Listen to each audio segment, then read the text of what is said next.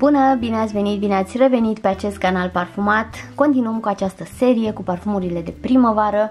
Am postat deja un video cu parfumuri ieftine și bune de primăvară. Am postat uh, încă un video cu parfumuri de nișe și de designer și acesta este ultimul video din această serie.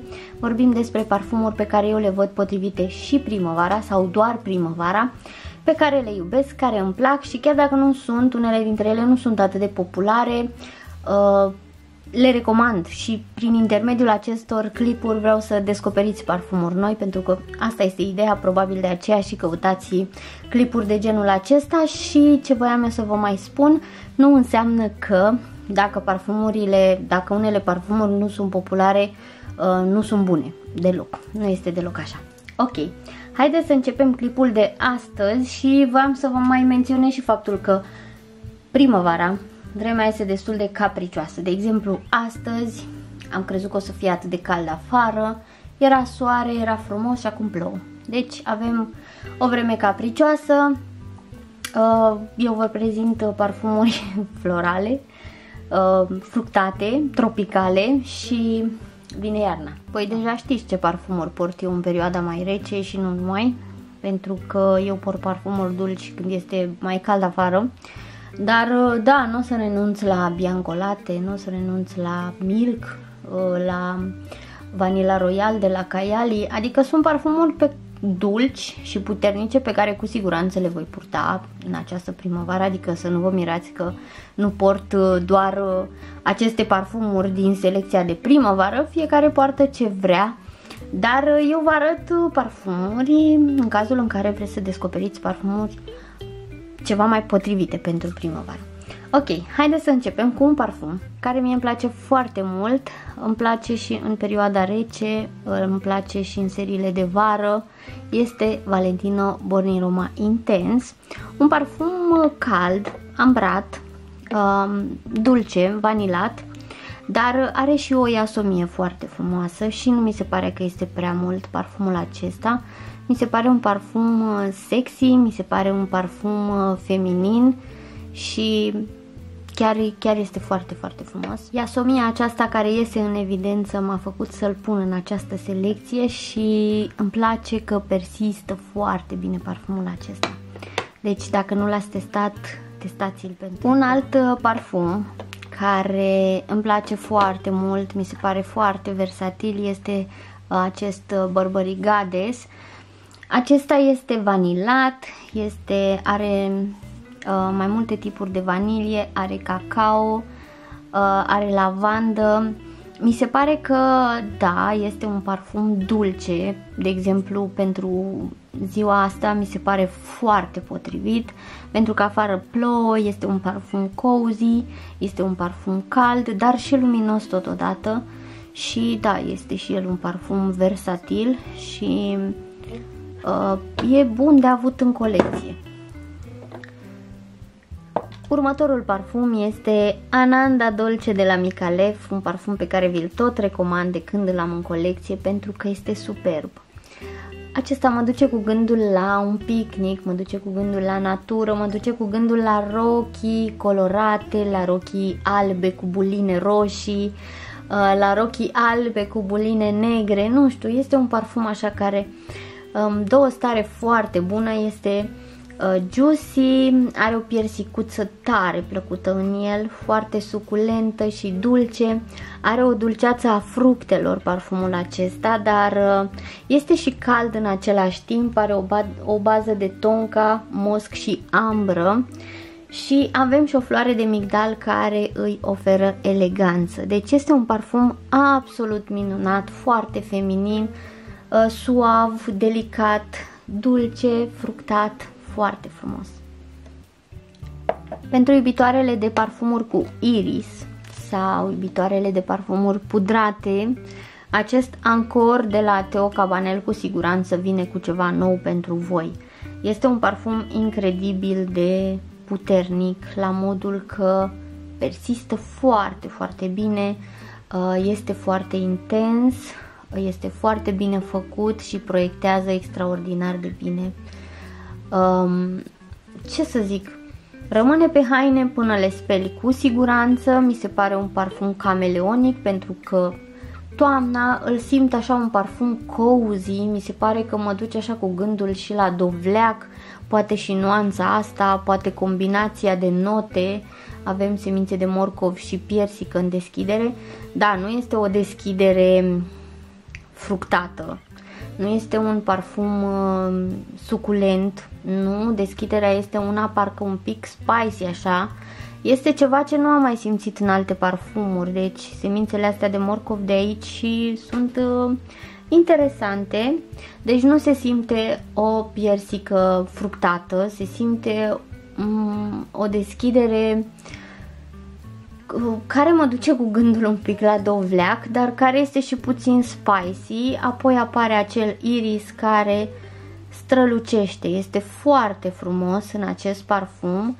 și avem o bază de santal, ambroxan, vanilie, mosc, deci este o bază cozy, este o bază cremoasă, uh, dulce, dar nu este un parfum foarte dulce. Mi se pare foarte bine făcut parfumul acesta, foarte interesant, vine cu ceva nou, este bun din toate punctele de vedere. Ancor de la Teo Cabanel. Următorul parfum este și cel pe care îl port astăzi și este vorba despre la danța de lelibelule de la Nobile. Un parfum cu o deschidere suculentă și proaspătă de măr roșu, uh, dar apoi apare și o scorțișoară care oferă profunzime, îl face să fie mai cald, dar totuși mărul roșu rămâne acolo. Deci um, are o bază de vanilie, cocos și mosc, dar nu mi se pare un parfum... Um, eu nu simt cocosul. Nu. Niciodată nu m-a dus cu gândul la cocos, pentru că nici nu știam notele până acum. Uh, dar mărul acela rămâne, mi se pare mai mult un parfum fructat, cald, condimentat și da, are acea scorțișoară care îi oferă o profunzime și îl face să fie un parfum ceva mai cald, dar nu este prea mult. Rămâne aroma aia de măr uh, pe fundal. Este foarte frumos, este un parfum care persistă bine, um, mi se pare destul de versatil și nu mi se pare greu de purtat chiar și în, zile, în zilele ceva mai, ceva mai calde. Parfumul acesta nu prea se mai găsea la un moment dat. Nu mai era pe nicăieri, a fost și foarte, foarte scump într-o perioadă, dar acum am văzut că se mai găsește pe aici, pe acolo, deci uh, poate aveți ocazia să-l testați. Următorul parfum este cel pe care l-am purtat chiar ieri.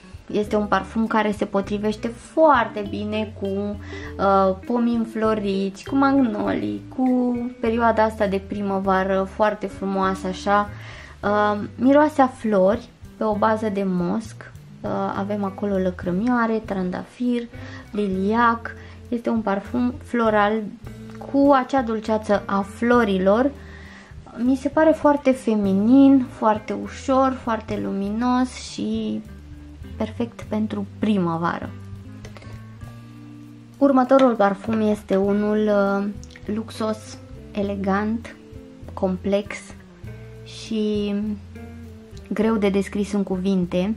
Este vorba despre Amouage Honor 43, un parfum absolut minunat, un parfum uh, versatil, și, după cum vă spuneam, greu de descris în cuvinte, însă mă uit pe note și o să vă spun ce simt, cum simt și ce nu simt din ce văd eu pe note.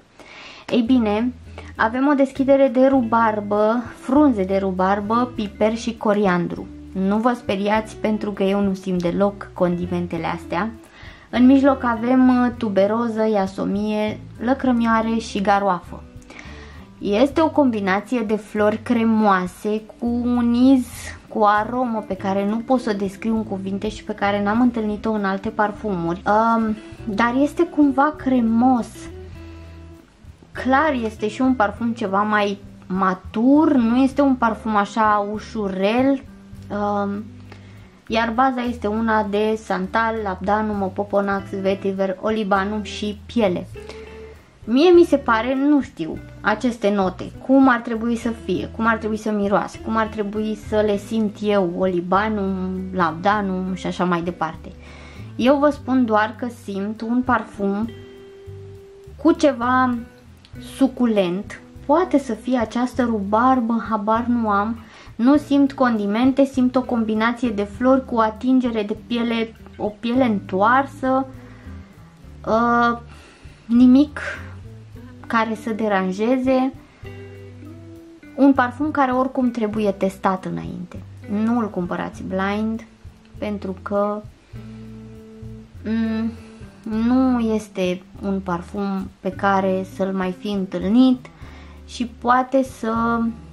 Da, nu, nu-l recomand blind, punct. Deci este un parfum interesant, vă recomand să îl încercați, să îl testați dacă aveți ocazia pentru că merită, este persistent, îmi place din toate punctele de vedere, este interesant, este altceva, dar nu-l luați blind. Atât! Un alt parfum pe care vi-l recomand cu tot dragul este Emeras de la Rule Fragrances. Îl găsiți în Obsentum, îl găsiți în Delirium, aveți ocazia să-l testați. Mi se pare cel mai creativ trandafir pe care l-am întâlnit vreodată într-un parfum. Este și spicy, este și ușor dulce, mi se pare elegant, mi se pare sexy, mi se pare seducător. Este un pic dulce, deci e o combinație minunată. Uh, avem așa, uh, bergamot, ghimbir, scorțișoară, castravete, piper roz, nucșoară, violete, iasomie, trandafir, lemn de santal, mosc și vanilie. Este un parfum foarte frumos, foarte bine făcut, interesant, diferit, nu am mai întâlnit nimic până acum care să fie așa. Este un parfum care mă duce cu gândul la un buchet mare, mare de trandafiri, un parfum luxos, un parfum scump și diferit, cel mai creativ trandafir din toată colecția mea și din tot ce am testat până acum. Este superb parfumul ăsta. English Parfumfrija de la Joe Malone nu avea cum să lipsească din această selecție. Este un parfum clean, proaspăt, um, fructat, floral, simplu simplu și frumos, îl asociez cu un tricou alb, un parfum casual de zi cu zi, minunat. Următorul parfum este Pomelo Fizz de la Comptoir Sud Pacific. Este un parfum mai nou intrat în colecția mea, uh, care m-a cam dat pe spate pentru că ca și voi m-aș fi așteptat la un parfum din zona parfumurilor de la Atelier Colon sau de la Guerlain, un parfum de vară, un parfum citric aromatic, greu de descris, mi-a dat bătăi de cap parfumul acesta pentru că nu știu cum să vi-l descriu. Uh, nu vă duceți cu gândul la parfumurile de la Atelier Colon, la acele parfumuri vibrante, juicy, de vară, proaspete. Nu vă duceți cu gândul nici la parfumurile de la Guerlain, Uh, de la alegorii pentru că acelea sunt mult mai ușoare, proaspete, citrice, naturale, bla bla. Nu. Acesta este un parfum plin, dens, bogat, cremos, balsamic aș putea să spun și haide să vă spun notele. Avem grapefruit, mandarină și bergamot în deschidere. Nu este acea deschidere suculentă, citrică, uh, proaspătă. Este o deschidere de citrice cu o bază cremoasă, dulce. În mijloc avem coacăze negre, floare de portocal și pelin. Se simt flori, flori cremoase, se simte și o atingere aromatică, iar baza este una de mosc, smirnă și ambră. Da, este un parfum ceva mai cald, eu simt și ceva gurmand în el, nu știu de unde, nu pot să zic că simt uh, o anumită prăjiturică sau ceva, nu. Mi se pare că este un parfum citric pe o bază cremoasă, densă, habar nu am cum să vi-l descriu, dar nu este acel citric fresh, nu. De aceea l-am și pus aici în uh, selecția aceasta pentru că poate fi purtat oricând, poate fi purtat și vara, dacă vă plac parfumurile ceva mai dulci. Îmi place foarte mult, este ceva, o aromă pe care nu am mai întâlnit-o până acum, ceva nou pentru mine, uh, un parfum frumos pe care o să-l port cu mare plăcere. Da, v-am spus, este unul versatil, interesant, ciudățel în același timp, aș putea să spun, dar frumos. Este o de toalet, dar este un parfum foarte intens. Ce să vă spun eu mai mult? O să-l mai port și vă mai povestesc despre el, dar să-l aveți în vedere că e, e ceva, ceva altceva. Da. Frumusețea asta o suport în această primăvară cu mare plăcere. Este un parfum popular de această dată, un parfum pe care probabil că l-ați testat sau ați auzit atât de multe păreri despre el. Un parfum cu o deschidere citrică, cu uh, floare de portocal, bezele, frișcă, un parfum, o floare de portocal îmbrăcat așa în uh, frișcă și bezele, un norișor de frișcă și bezele cu floare de portocal, deci este un parfum foarte frumos, foarte feminin, uh, modern, un parfum foarte frumos pe care vi-l recomand cu mare plăcere. Și ultimul parfum despre care povestim și vă, vă las, vă las în pace, este Kirche de la Tiziana Terenții, parfumul acesta pe care doar ce l-am pulverizat și cred că o să-l am în nări o săptămână. Îmi era frică să-l pulverizez, sincer, pentru că pe acesta când vrei să-l pulverizezi, asigură-te că pe el îl porți, pentru că doar pe el o să-l simți. E, e ceva... Îmi place mult de tot parfumul acesta. Este suculent, este fructat, uh, se simte o piersică coaptă acolo, îmi place foarte mult, are și un nis tropical, primăvara, vara, când vrei tu să simți aroma asta, este perfect, este din nou ceva altceva. Vă recomand cu mare drag parfumul acesta. Acum nu știu, eu l-am luat blind pentru că am testat înainte clona și cam aveam idee așa despre ce o să fie parfumul. Dar da, și clona de pe Dubai Collection, Arcana, este una bună Parfumul acesta este obsesie. Chiar mă obsedează, chiar îmi place foarte mult. Cred că o să fie parfumul meu de vară, pentru că v-am zis, pe acesta când vrei să-l porți, fi sigur că o să-l simți. După ce l-ai purtat o zi, o să-l simți o săptămână, deci mai greu să, să încerci parfumuri, să testezi parfumuri când te-ai dat cu el sau, de exemplu, eu astăzi port uh, la danța de libelule și cu siguranță, astăzi, pentru că am dat pe o hârtiuță, dar uh, am dat și pe mâini și odată ce l-ai mirosit, se instalează în nas. E super parfumul, nu am ce să zic, vi-l recomand cu tot dragul, mie îmi place foarte mult. Încercați și clona dacă vreți mai întâi să vă obișnuiți cu aroma, dar e minunat. Ei bine, cam acestea au fost parfumurile uh, recomandările mele pe care vreau să vi le aduc în atenție în cazul în care sunteți în căutarea unor parfumuri de primăvară, parfumuri versatile, parfumuri feminine, dulci, proaspete, citrice, florale, de toate. Sper că v-a plăcut această serie și pe mine mă găsiți pe Instagram, nu uitați să vă abonați dacă nu ați făcut-o încă, să vă alăturați dacă vreți să susțineți acest canal și noi ne vedem în curând cu un video nou. V-am pupat! Pa, pa!